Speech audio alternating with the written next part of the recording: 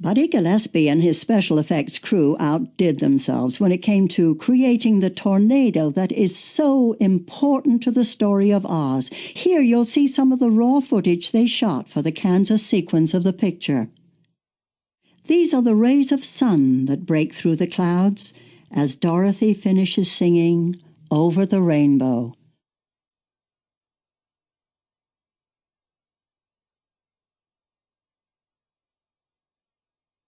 This long shot shows the tornado as it moves across the Kansas prairie.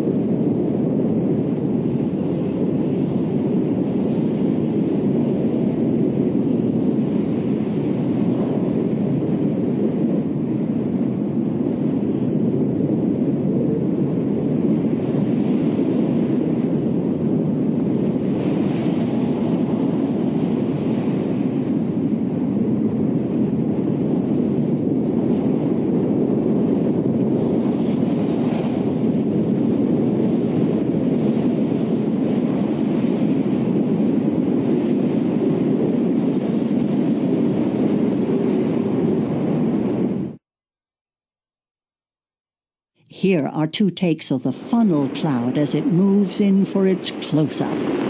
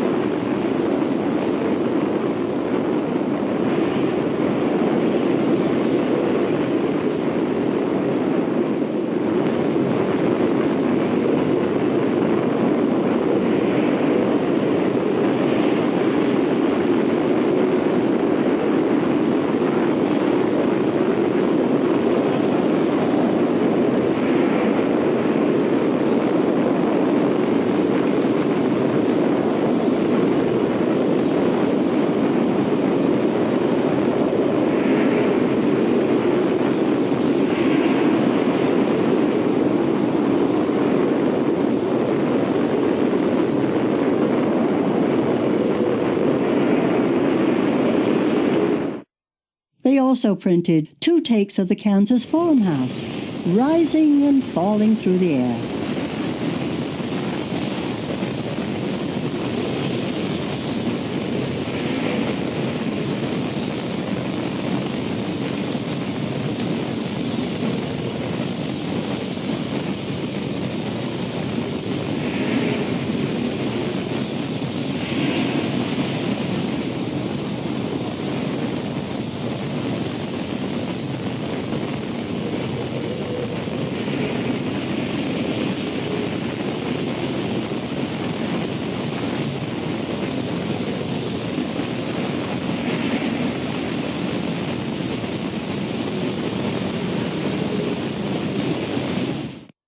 This is the view through Dorothy's bedroom window during the storm.